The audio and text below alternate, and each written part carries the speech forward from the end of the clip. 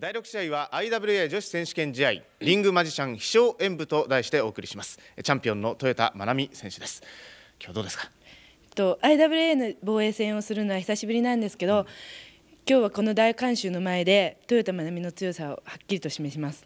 チャレンジャーについてはどうですか？とプラム選手に関してはとガンガンぶつかってきてください、うん、名勝負を作りましょう。はい。期待してますさあそして挑戦者のプラムマリコ選手です。さあ今日はどうですか？相手トヨタですけど。はい。やっぱり相手のペースに乗って試合進めちゃうとやばいんで今日は関節技とかで私のペースで試合を進めたいと思います。はい。頑張ってください、はい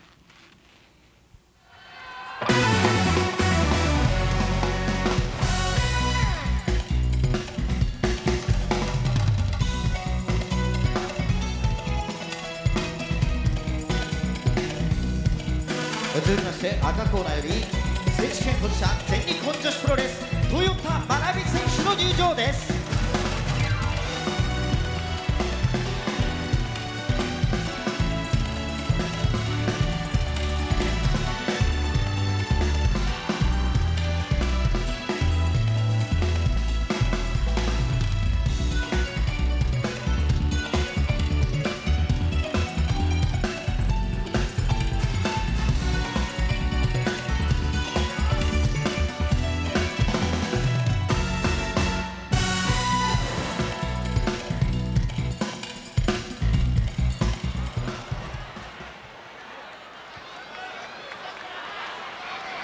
さあ本日の第6試合です。いきなりプラムが突っかけていきました。IWA 女子選手権試合リングマジシャン飛翔演舞全日本女子プロレス豊田真奈美対プラムマリコの60分一本勝負であります、えー、この試合、えー、この試合からは実況私斉藤光そして、えー、放送席には吉田真理子さんを、えー、お招きしております。吉田さんよろしくお願いします。よろしくお願いします、えー、まずはですねちょっと波乱含みの幕開けということになりましたけれどもタイトルマッチ。今日は実にタイトルマッチが4つ。そうです。あるというあごめんなさい。5つですね。全日本タッグ、先ほど、はい、えー、終わりましたけれども。その今日第2弾ということになります。第3弾。あ第3弾ですね。はい、はい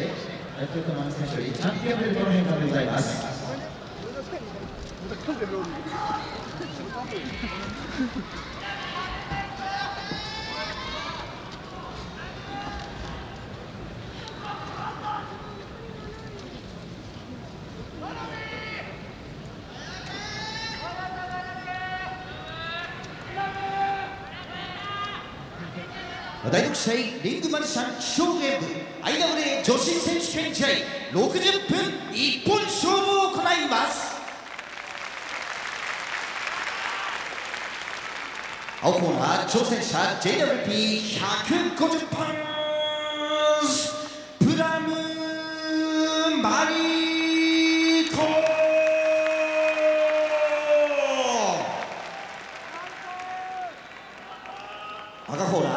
ナー選手権保持者全日本女子プロレス150パントヨタマナ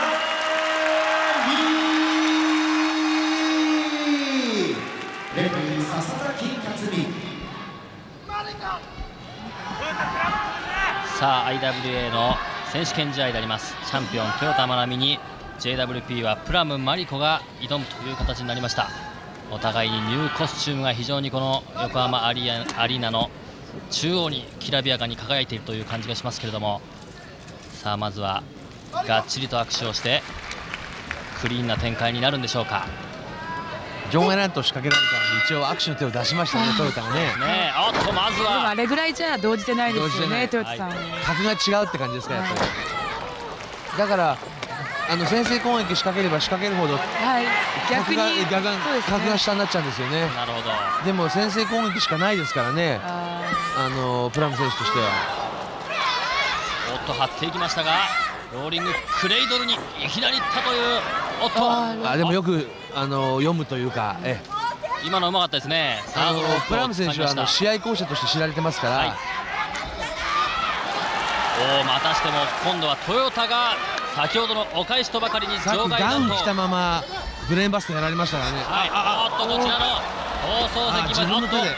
いや場外のえ自分の手で今マットを剥がして。剥がしておーっと強烈ボディースラム今こちらの方もですね。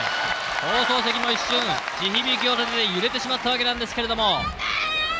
さあさあ通路側通路側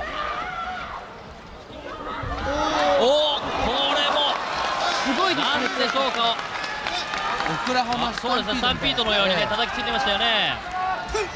これはプラムにとっては強烈。そんなボディスラム防ぎようがないですから、ええ。先ほどの先制攻撃ここはちょっと裏目に出てしまったのか。吉田麻里何か。子選手、今までの展開は？い。やなんかトヨタさんに余裕が見られるかなって感じですね。今のもね倍返しという感じでしたけれどもねこの場外乱闘倍返しっていう言葉はあのトヨタ選手似合いますね。なんか怒らせるとね。いやなんかいかにもやりそうな怖いですよね。ええそんな気がします、はい。さあもう一度場外でもトヨタ選手ってツンツンしてた方がいいですよね。そういうレスラーじゃないですか、見事なロープワーク三角跳びからのアームホイップ。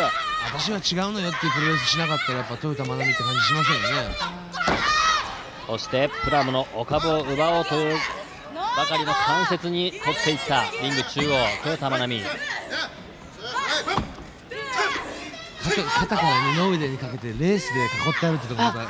今日言ってたんですよ。自分解説っていうんで、ええ。トヨタさんにお聞きしたら、なんか本当はボディコンみたいなセクシーな水着を作りたかったみたいなんですけど、なんかちょっとぶりっ子みたいになっちゃったとか言って。え結構ぶりっ子みたいなの多いですよこの人。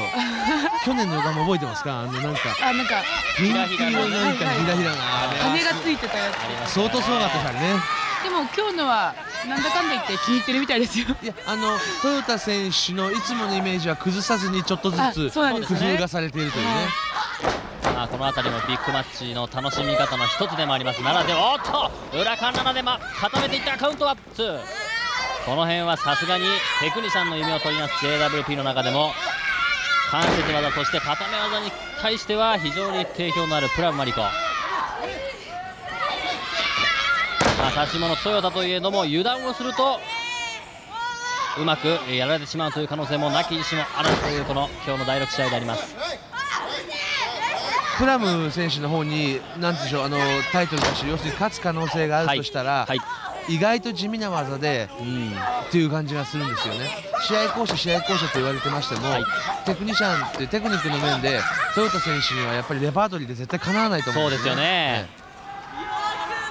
まあ、地味な技ってやはり一瞬の固め技かそのあたりでしょうか勝機があるとすればね、ビクトビクトル投げで膝十字になりますよね、はい。ビクトル投げで投げておいて膝十字に行くと見せかけておいてフォールを狙うとかですね、あーなるほど。ええ。なんかええそういうふうに考えないと、ええ斉藤はもう考えてますけど今のこの声が。トヨタに勝つにはどうしたらいいかってやっぱりそうですよね。考えちゃいますよね、うん。まあ、当然本人もあ何らかの秘策はあた、えー心に託してのだってかっこいい大技で勝てるわけないですよね、はい。競争したら。そうですね飛び技だってちょっとこの人と競争するのは無謀ですよね。あっと。でこういうこともしますからね、この攻撃。さっき髪の毛持たれて投げられたからお返しですよね。本当倍返しって感じ。あー割れんばかりの声は横浜アリーナ。1万人を超える大感謝ランニングドロップキック強烈に顎の先端にヒットした。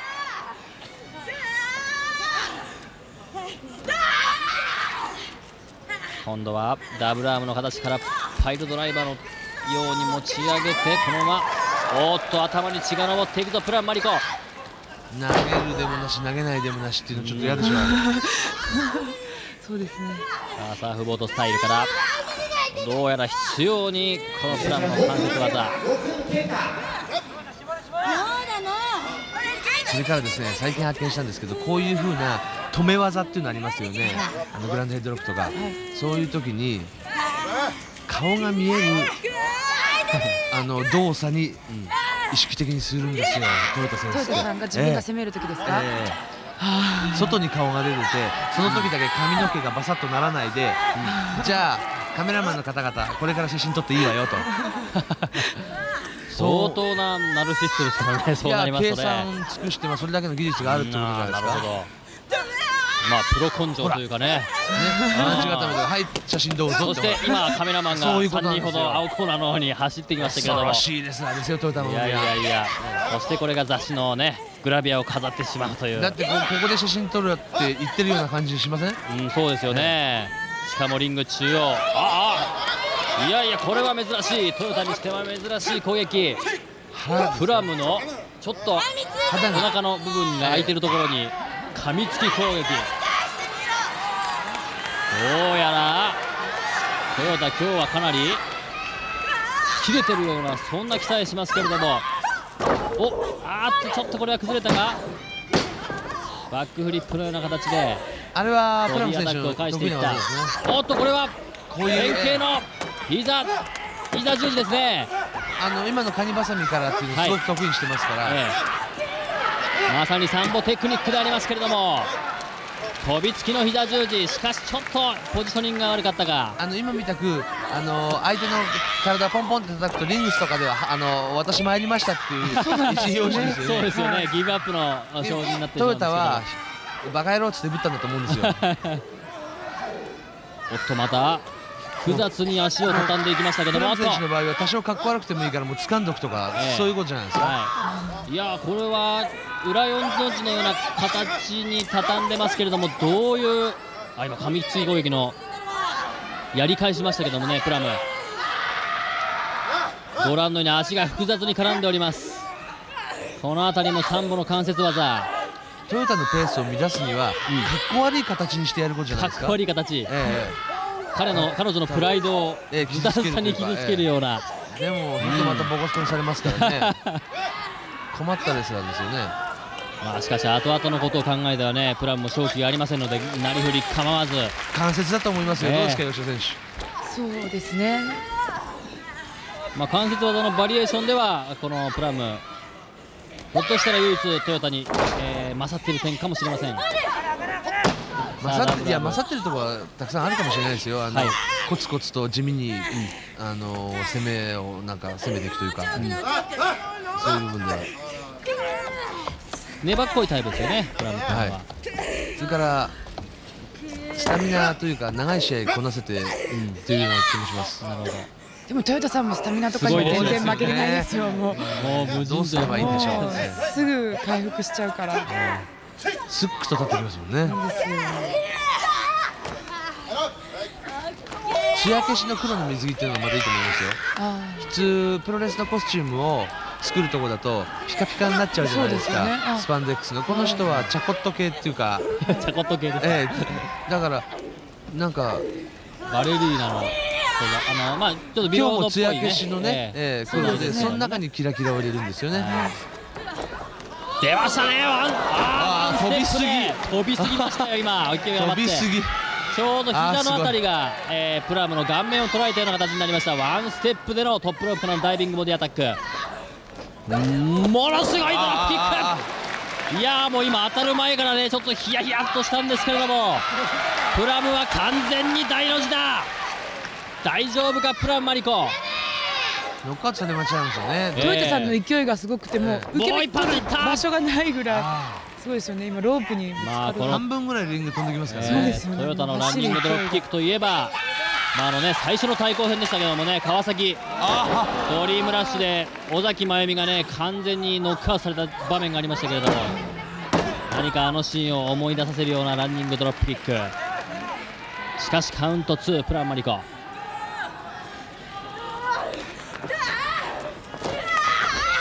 おこの割りは遠まかわしておチキンウィンかこういうことじゃないですか。うん。えチキンウィンクフェイスロックだ。え右手の方がハーフネルソン取れてないんで、完全な形ではないですかね。でもああいう不意なところから入られたらでしょうね。ギブアップしちゃう可能性もありますよね、なんとかして関節技に勝機をそしてペースを見出していきたいという重いプラム DDT でしたね。はい、こういうんじゃそれをブリッジで返すのからすごいですよね、頭技なのにね。さあ今度はプラムトップロープから。あーちょっとこれは無駄だあー時間がかかりすぎた。キック一発。何をもたもたしているんだという感じでね蹴っていきましたけれども松坂さんがにリングに落ちてしまったプラム大丈夫か？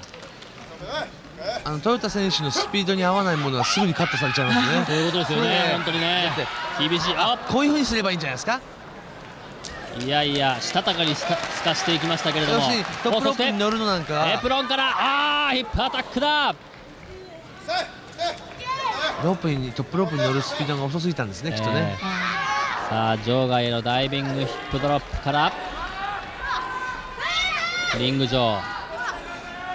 今度はプラム何があるか？バックドロップ。さあもう一度チャレンジというところであります。先ほどやりたかった技それが今ここで見られるわけですけれども何でしょうか？ボディアタック。フライングボディプレス。完全に余裕を見せていたトヨタ。もろに足で返していきました。で先ほどうまくかわされたこのローリングクレイドル、意地があります。もう一度というねリング中央。ぐるぐると回していきます。ローリングクレイドル。リング広く使いながら回転しますよね、いや今トヨタがねまだまだと言いながら自分に言いながら回し続けている。いやこれはまた行きますね今日もまだまだ行きます。プランマリコの平行感覚がどんどん失われていくがさあ大丈夫か？カウントは？カウント2オッケーって立ってきちゃいますね。まだ次がいっぱいありますからね、トヨタさんは。私まだ全然攻めてませんって考えてるんじゃないですか？そうですよ。今のもトヨタも全部やる必要ないんだから。ですけど、目が回っているはずなんですけれども。あーこのムーンサルトをよはナイスチャンス。く見ていたプラムプラム。チャンスですか？おあこういうふうに STF STF ですか？すかさず STF リング中央。さあがっちりと決まってるぞ。さあ膝のフックはどうか？右手が伸びているがサードロープには届かない。トヨタ真奈美少しにじり寄っていった。攻めとしてはすごく今なんかね理にかなってるというか失敗して寝てるとこですからただどっかオリジナリティがないんですよね。STF ってやっぱ流行りの技じゃないですか。はい。みんながやっちゃうんで。ええ。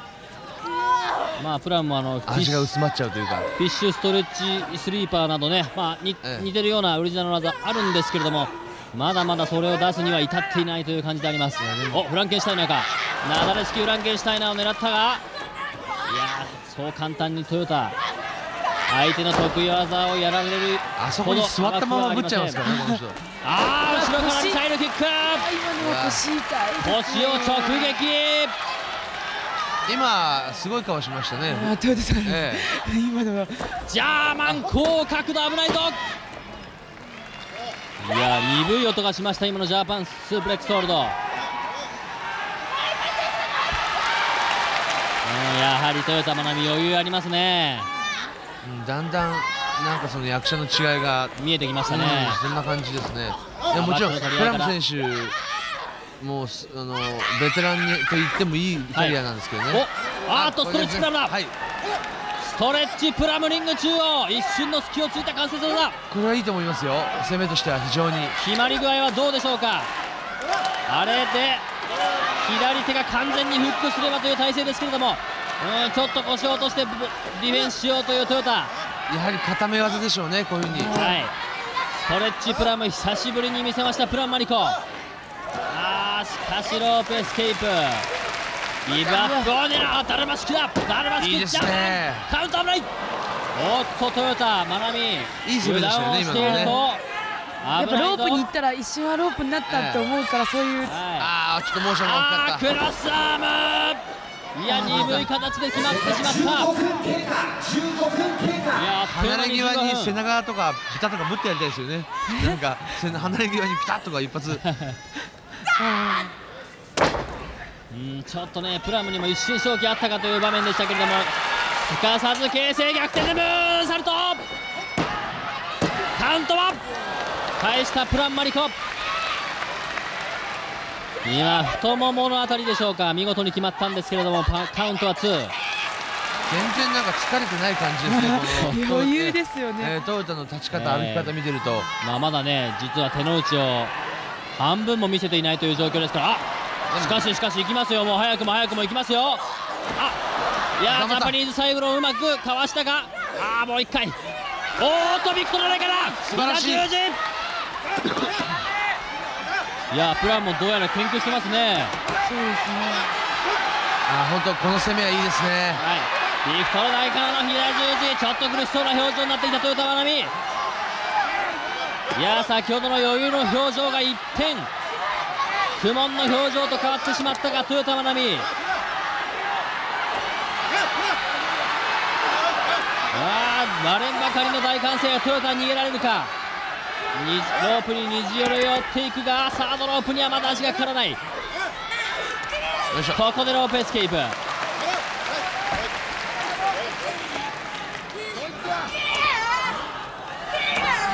うんどうやら集中的に左足を攻めていこうかというプラム。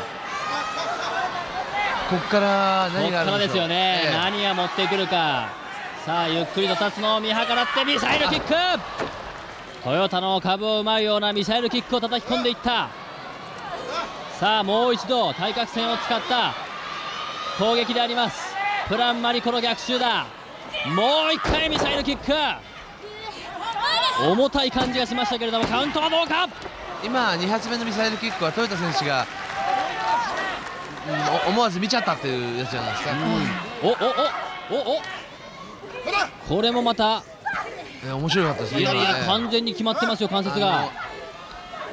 アームとヘッドシザース両方ですね、はい。今日本当にあの LLPW 勢もそうでしたし、はい。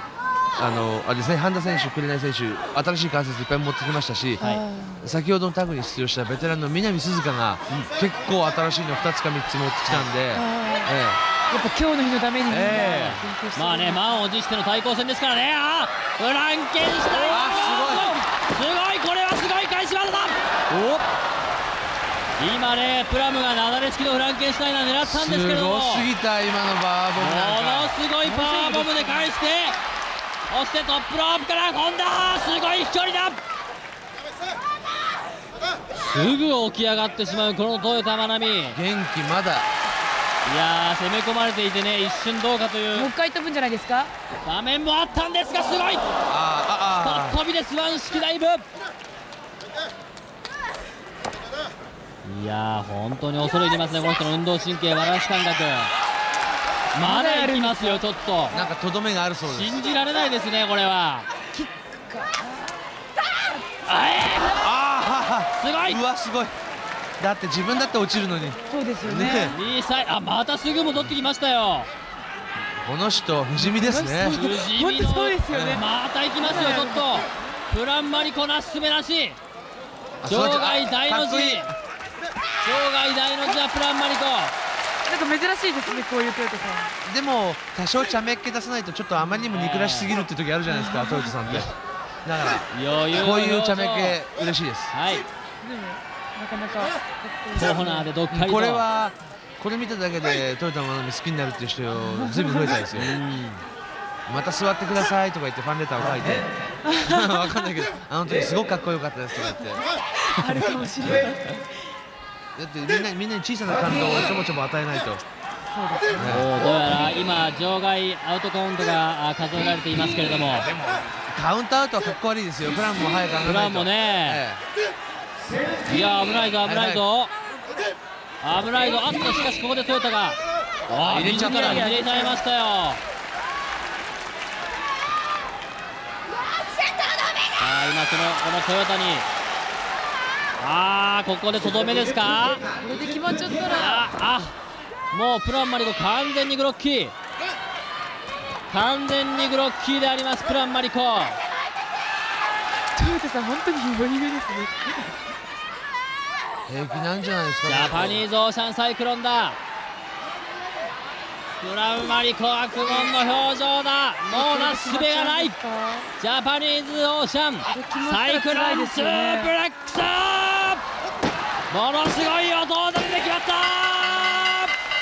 なんかやっぱり楽しんで料理したというような感じでしたね。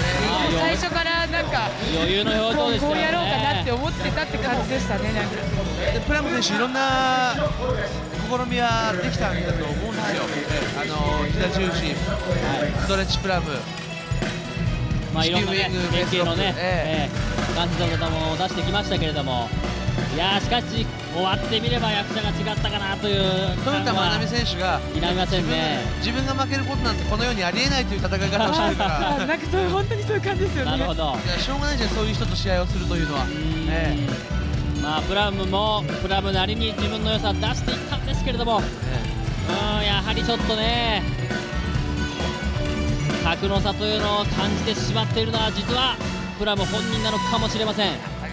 やっぱり豊田選手は最終的にはアジャ選手とかね、はいそういう人と打撃戦のシングルに立ち向かっていくというのが一番じゃないですか。なるほど。不思議と打撃だけはないですもんね。そうですね。しました豊田真奈美選手にコミッショナー入り認定証の授与でございます認定証まあ強いですね豊田あなたは横浜アリーナで行われた全日本女子プロ協会並びに IWA 認定 IWA 世界女子選手権試合で見事勝利を収められました。ここに認定士とチャンピオンベルトを送り進めようとあります。平成6年3月21日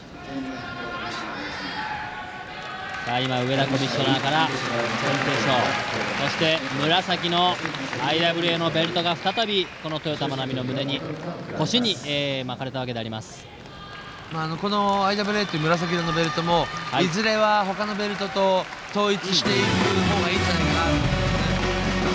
チャンピオン同士でやって白いベルトとそうですね紫のベルトがね、えパシフィックチャンピオンあの白いベルトあたりとダブルでやるのも面白いんじゃないかなと思いますね。なるほどさあ今日の第6試合 IWA 女子選手権試合チャンピオン豊田真奈美対挑戦者プランマリコの一戦でしたけれどもチャンピオンの豊田真奈美貫禄の防衛ということになりました IWA のベルトを見事に守りましたチャンピオンの豊田真奈美選手です。おめでとうございました。今日はもう完璧というふうに見ていいんでしょうね。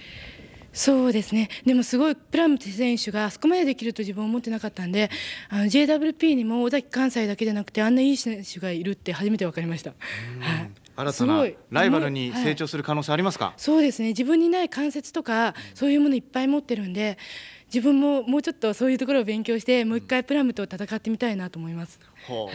はい頑張ってください。新たなライバル出現の予感です。